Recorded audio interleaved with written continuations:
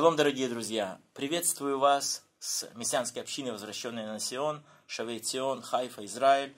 И, разумеется, студия, которая открыта для всех, в которую мы приглашаем всех учителей Оазис Медиа. Добро пожаловать! Я сегодня хочу э, представить вам небольшой разбор из недельной чтений Балак или Валаак. И эта история записана в книге чисел. Там есть очень много чему поучиться. И я надеюсь, мы вместе с терпением пройдем э, сколько-то уроков. Я сделал несколько, до десяти коротеньких уроков. Надеюсь, мы вместе сможем выучить чего-то очень важное. И пусть Руаха Кодиш, Дух Божий, Дух Святой, откроет наши сердца для понимания Писаний. И история начинается с 22 главы книги «Числа». И мы видим, что до этого народ израильский заходит э, в... приближается к обетованной земле. И он проходит через земли аммонитян, он проходит Муав.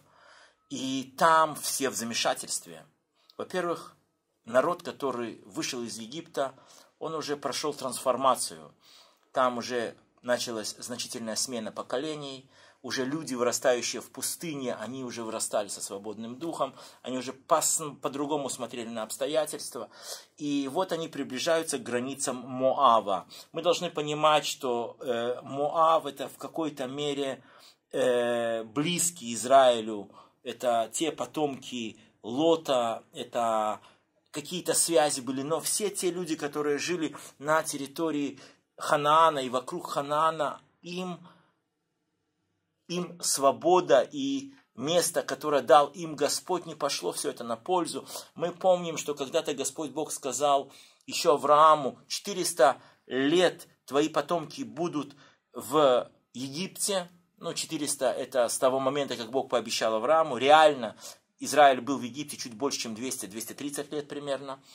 И за это время мера беззакония людей, которые живут на территории Ханаана, возрастет, и тогда я смогу их достаточно наказать. Так вот, за это время люди, живущие, населяющие Ханаан и все окрестные земли, очень сильно опустились перед Господом, перед Его праведностью, и они заразились всякими различными заразами, мы потом про это поговорим немножко больше.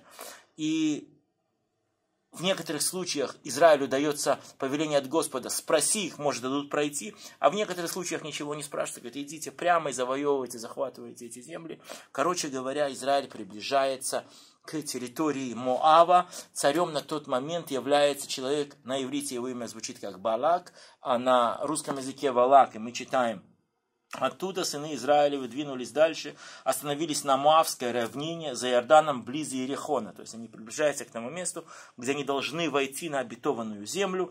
Кто не знает карту Израиля и карту Ближнего Востока, легко открыть в интернете и посмотреть. И Балак, сын Ципора, видел, что сделали сыны Израилевы самареями. И мы читаем, что э, и весьма боялся, боялись моавитяне народа сего, потому что он был многочислен, и устрашились моавитяне сынов Израилевых. Урок первый. Кто такой Балак? И чего он так боялся? Перед тем, как подойти к территории Маава, Израиль просто разгромил э, царство Сихона и Ога. Еврейская традиция рассказывает, и мы читаем в Библии небольшие комментарии на, это, на, эту, на, эту, на эту тему, что Сихон и Ога не были гигантами какими-то высокорослыми, могутными такими людьми, и, соответственно, люди, их люди были такими же. И даже к таким людям приблизиться страшно было, потому что, вы помните свидетельство 12 соглядатаев, это примерно 40 лет назад, до, вот этих, до, до этого момента, когда они говорили, те люди выглядят огромными, а мы перед ними как саранча. Я хотел немножко на эту тему поговорить и понять, что такое за эти огромные люди, кто они такие вообще и э, что это. Знаете, по всей видимости, это были какие-то смеш... смешанные, гибридные люди. Такое мнение существует. Вы все можете с этим соглашаться, не соглашаться, но это одно из мнений. И там было что-то замешано на колдовстве. На самом деле подобные вещи мы читаем в Библии, и вот я вам дам несколько таких примеров, которые были раньше, которые были позднее этого момента, чтобы вы могли хорошо понимать, что не все то понятно, что в Библии написано, и мы не все всегда должны понимать. Итак, первый момент. Который рассказывает нам про гигантов. Это странная история, которая записана в книге Бытия, 6 глава. И там написано, сыны Божьи увидели дочерей человеческих, стали входить к ним. Есть много разных комментариев, кто эти сыны Божьи, что это те сыны Сифа. Но еврейский обычный мидраш и обычное стандартное понимание, не всегда либера, либеральное, либеральное, либеральное, оно говорит, что это были Амалахей Шарет, служебные ангелы, которые увидели дочерей человеческих. Поначалу человечество было совершенно иное, чем мы сегодня. И в учении, которое называется Тикун Улам. Исправление мира, оно, вы можете его найти в интернете, я там на эту тему много говорю, и человечество было очень развитым, и как написано в псалме номер 8, там написано, «О человек, что ты помнишь его, и сын человеческий, что ты знаешь его, ты немного умолил его перед ангелами. Так, так написано в русской Библии. В ивритской написано иначе. Немного умолил ты его перед собою. Славою, честью венчал. То есть человечество в потенциале должно было быть венцом творения. Огромные силы. Ангелы – это были лишь служебные духи, которые должны были прислуживать людям в их позиции. Но когда человечество начало умоляться, ангелы очень заинтересовались. Вау, мы хотим приблизиться и понять, что же там в этом человеке. И вот история Бытия, 6 глава, рассказывает, что служебные ангелы стали входить к дочерям человеческих. И от этих союзов, от этих браков стали рождаться нефалимы. В русской Библии написано испалин, на иврите нефалим от слова нафаль, падший, упал. Тот, который потерял достоинство. Но понятно, что это были какие-то особые существа, гибридные, можно так сказать. И мы читаем, что э, эти вот нефалим развратили землю и научили человека всякой гадости до такой степени, что Бытия 6 глава говорит, и извратила плоть путь свой. То есть стали там какие-то странные смешения. Мы слабо понимаем эту тему, это не тема сегодняшнего разговора, но просто Бог сказал, не вечно быть пренебрегаемым моему духу, я наведу потоп, и эту мерзость, мерзость просто смету, смету с лица земли. И то, что мы читаем вот сейчас в э, историю про Балака, и вот про Ога и про Сихона, это были какие-то гиганты. Потом, позднее в Библии мы прочитаем, что царь Давид воевал с Голиафом, и там его братья были, это тоже была какая-то разновидность. Это уже не была продукция смешения браков ангелов и людей, но там что-то было тоже замешано на каком-то таком суровом колдовстве. Знаете, еврейские источники говорят, что колдуны тех веков по сравнению с тем, что мы сегодня знаем про колдунов, это было что-то страшное. И современные колдуны это как дети, которые фокусами развлекаются. Хоть и это достаточно страшно, и Писание говорит, не приближайтесь к этим вещам, но в те времена они достигали каких-то эффектов, что рождались вот эти вот смешанные существа. И интересно сказать, что именно в отношении них, по всей видимости, это одно из мнений, ну, понятно, еврейское под Писанием приветствует разное мнение, но одно из мнений, что э, именно о них сказал Господь Бог народу израильскому, подвергни проклятию мужчин, и детей и женщин, то есть всех уничтожай, потому что они заражены какой-то генетической проблемой. И это не генетика, просто больная генетика. Это что-то колдовское, бесовское, которое просто невозможно исправить. Ну, это одно из мнений, я повторюсь.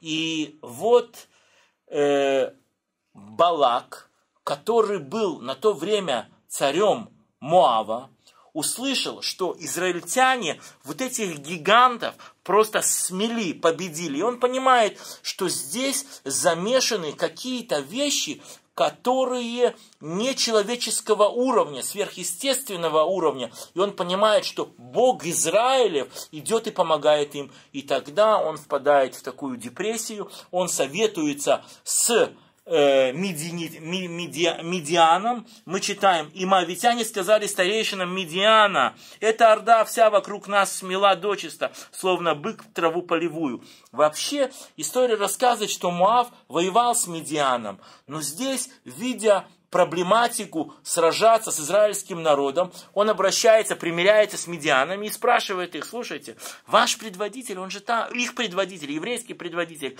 он же у вас провел примерно 40 лет. Помните, что Моисей прожил в Медиане 40 лет? Может, вы знаете про него немножко больше? Может, вы можете объяснить источник этих сил и связей с Господом Богом? Короче говоря, на каком-то э, этапе они понимают, что здесь задействованы сверхъестественные силы, и нужна помощь других сверхъестественных сил, и тогда они обращаются и ищут кого-то, кто бы мог помочь. Им находят в, на русском языке Валаама, а на иврите это его имя звучит как Белям, он был пророк тоже Божий, или колдун, это наш следующий урок, но в завершении вот этого короткого разбора, кто такой Валаак, чего он боялся – он боялся сверхъестественной силы, которая сопровождала израильский народ, когда он ходил в Божьих путях. И мы должны понять такую вещь, что если мы ходим в Божьих путях, соблюдаем те уставы, определения и границы, которые Господь Бог повелевает нам, то, как говорят Писания постоянно, никто не устоит перед тобою. Это такой призыв к нам в окончании этого коротенького первого урока. И мы переходим ко второму уроку, который я назову «Кто такой Бельям?» или Валаам.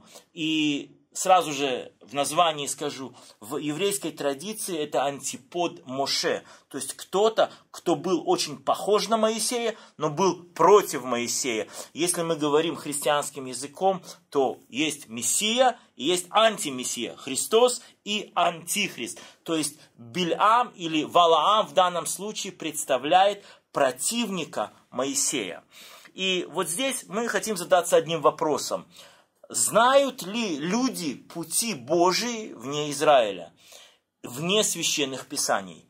И мы должны согласиться, что Библия нам как минимум о троих значимых людях древней истории говорит, которые не были связаны интегрально с израильским народом, но они знали очень четко и близко Бога. Один из таких людей это Мелхиседек. Про него мы не будем много разговаривать, потому что сложно разговаривать про Мелхиседека. Может, в следующий раз, когда будем разбирать послание к евреям. Также был Иов – мы читаем книгу Иов, и ясно, что это не израильтянин, но это человек, который достиг великой праведности перед Творцом, и небесный Творец, Небесный Отец, когда Он говорит со своими сынами, какими-то небожителями, и между ними был Сатан, Он говорит им всем, есть ли такой праведник, то есть человек, познавший меня и следующий моим инструкциям по жизни, как Иов, то есть Иов, вот не. И мы знаем также значимого язычника, который э, приближается на каком-то этапе к Творцу, это был Итро или Иофор, тесть Моисея. Но этот был очень мудр, и видя, что Господь совершил с Израилем, приближается к Израилю, чтобы понять Бога Израилева не только на основании своих личных изысканий, но в формате того откровения, которое Небесный Отец дает э, израильскому народу.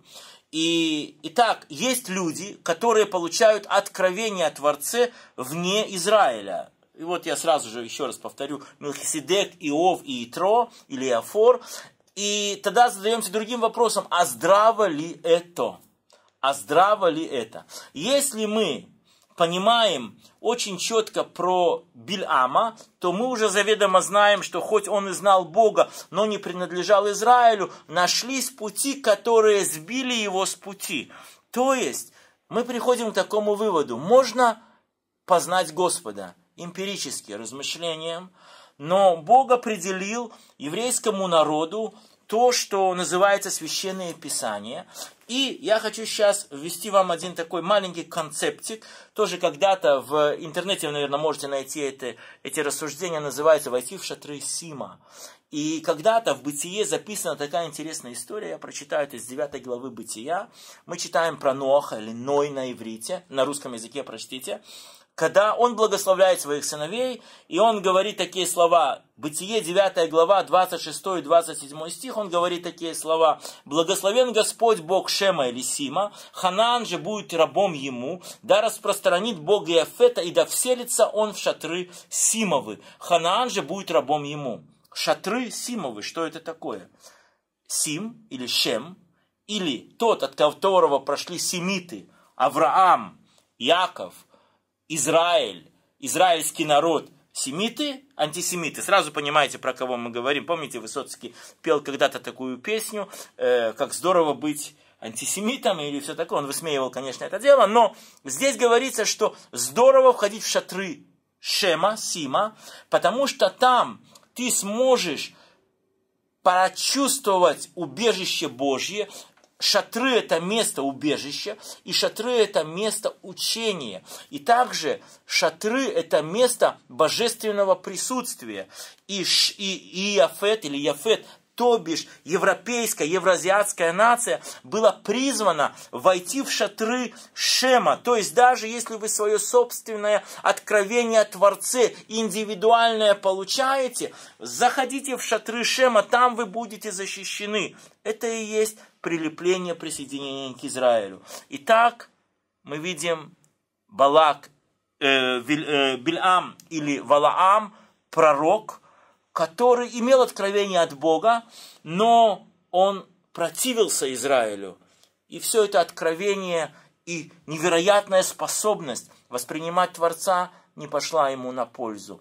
Вы знаете, если мы посмотрим сегодня на многие церковные объединения, которые оторвались от еврейских корней и попали в сети искривленных, языческих представлений о вере, о праведности, о супружеских отношениях, о чем сейчас говорят по всему миру, все это результат того, что вот мы, они имеют откровение о Господе, но они не хотят быть в шатрах Сима, не хотят быть в тех рамках, которые называются еврейское писание и связь с Израилем. Вы знаете, даже сам концепт этот, он крайне здрав, и он помогает людям не только знать Бога, но и плоды приносить перед Ним, а также Он позволяет человеку чувствовать себя защищенно. Итак, мы разобрали коротких два урока которые были посвящены пока двум язычникам. Но по пути мы увидели дополнительные вещи. Ходим за Господом, Он оберегает нас. Или, и вторая вещь, имеем откровение о Господе. Очень важно, чтобы это было в соритении с Израилем, с шатрами Шема. Тогда это откровение будет в тебе приносить плоды, но не будет тебя делать гордым, извращая тебя самого и, и изменяя тебя самого. Есть такое выражение про Бильама или Валаама, как пророк стал колдуном. Но про это мы поговорим в следующих уроках. А пока я хочу поблагодарить вас за внимание и пожелать вам благословений. Пусть Бог благословит вас из Сиона. Спасибо.